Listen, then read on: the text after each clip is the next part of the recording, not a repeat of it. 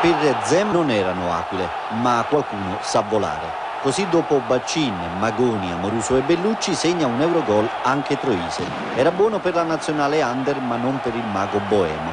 Ripescato da Mondonico ha contribuito a risanare il deficit tra reti subite e reti fatte. Siamo partiti male quindi dobbiamo rincorrere. Questo ci permette di entrare sempre concentrati e non ci permette di, di sbagliare troppo. Quindi credo che poi il mister ci dà tanto entusiasmo e questo sia, credo che sia molto importante per noi.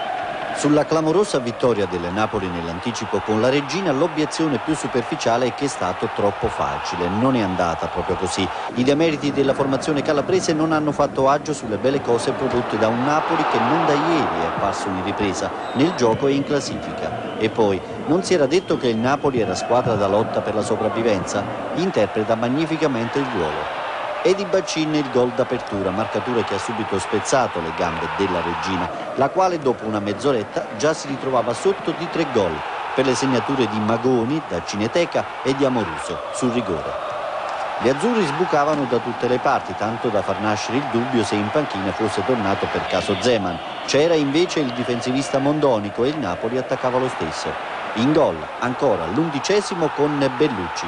Gran partita la sua. Cozza accorciava al ventiduesimo, poi al ventottesimo, quinto gol con Troise, di cui abbiamo già detto il meglio possibile. La sesta rete, un numero di Jankulowski dalla distanza. La regina nel finale tirava fuori Mozart, ma con il dovuto rispetto la musica migliore l'aveva già suonata il Napoli.